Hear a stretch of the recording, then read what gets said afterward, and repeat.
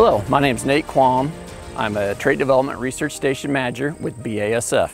Today I'd like to welcome you to the Fowler Research Farm. This farm is located in Benton County, Indiana. Uh, in this farm we have about 320 acres of land and about 45,000 square feet of facilities. The BASF Trait Development Team is currently working on many trait innovations to help growers overcome the challenges of crop production, not only for today, but into tomorrow. These trait innovations, coupled with BASF germplasm, are the foundation on which BASF has a suite of solutions to provide growers with the tools they need to succeed on the complete acre. Today we'd like to showcase how experts from across BASF's broad portfolio have collaborated together to demonstrate how BASF can provide customized, complete solutions to today's soybean producer. With that, I'd like to hand things over to David Pazdernik, BASF Seeds Agronomist, to tell you more. Thank you, Nate. Uh, two of the many components that affect yield and affect high yield soybeans are planting date and variety choice. Uh, in this trial out here, we decided to go with two planting dates. We planted the first date April 15th, and the second one we waited a full month and planted on May 15th. Uh, as I would expect over the years, um, it's been shown that planting in April you tend to get higher yields than you do in May. So I would expect the April planting to be higher yields out here, uh, but we'll use the combine and see what happens. So planting date definitely does have a large effect on yield. So the second component I'll talk about that affects yield on high management soybeans, or any management for soybeans, is the variety choice. Variety choice is either number one or the number two component that affects yield and that you control. So picking the right variety is extremely important in maximizing your soybean yields. So for this particular trial out here in Fowler, Indiana, I chose Credenz 3309 GTLL and Credenz 3750 GTLL. Uh, and I chose those two so I'm under the same herbicide platform. So last year we did this exact study, and this year we're doing it again, and I used the exact same two varieties. So that way we can really get some two-year data using the same varieties and similar management trials. And the goal is to try and kind of piece apart um, what affects management more than other traits.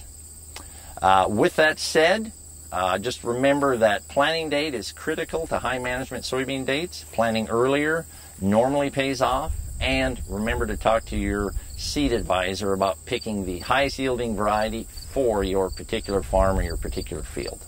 Uh, next, I'll turn it over to Nick Tinsley, and he's going to talk about the seed treatment portion. Thanks, Dave. My name is Nick Tinsley, and I'm a seed treatment technical field representative with BASF. I'm here today to talk to you about the value of seed treatments in your soybean crop.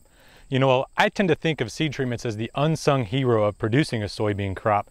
And the reason for this is that many growers take for granted that once you plant a field, it's going to emerge to a healthy start. But it's really the seed treatment that helps make that happen in the face of disease and insect threats. You know, one of the things that growers are doing every year is pushing their planting dates earlier and earlier. And that tends to make it more likely that you might have a disease or early season insect problem.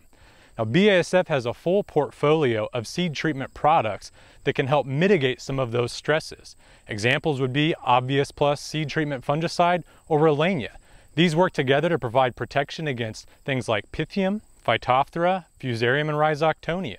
In addition to that, we also have a seed treatment insecticide for soybeans called Poncho XC. And this will really help protect against those early season insect threats like bean leaf beetle or seed corn maggot. In addition to that, we can help boost those yields higher with products like Vault IP Plus, which contains not only an inoculant, but also biofungicides that help protect and enable that crop. And now I'm going to turn it over to Gary to talk about the value of fungicides in a soybean system. Thanks, Nick. Uh, again, my name is Gary Welker. I'm the technical service representative uh, for the state of Indiana. Part of this high yield uh, uh, soybean trial that we're doing here, uh, my component would be the fungicide aspect of it. So David talked about the varieties and, and the planting date. Nick talked about the seed treatments. Uh, and then the last part of this was uh, the different management as far as fungicides that we, we did here. So uh, the first one is uh, we did no treatment at all. So this would be just uh, you know standard uh, what they did before me as far as the seed treatments and the varieties, and then no foliar fungicide at all. Uh, the second component of it would be Priaxor, which has been our flagship fungicide in soybeans for many many years, uh, but now it's kind of moved down a tier because uh, uh, we have a new product, right? And so again, we have untreated, and then we have Priaxor, and then the last treatment would which would be our new innovation, which is Revytek, and we included Fastac insecticide in, included with that. So, um, you know, David talked about uh, improvements from, you know, variety differences and planting date will give us a big bump. Uh, we, we fully expect that the untreated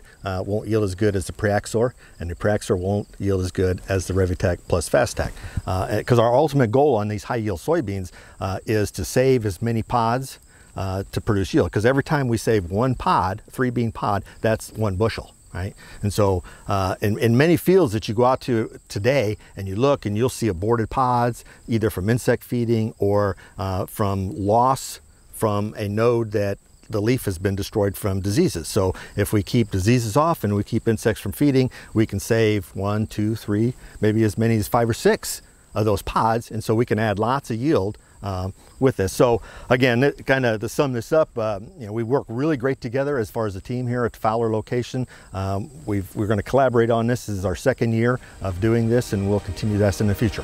For more information about products for high yield soybeans or in fact high yield corn, contact your local BSF representative or one of our supporting local retailers.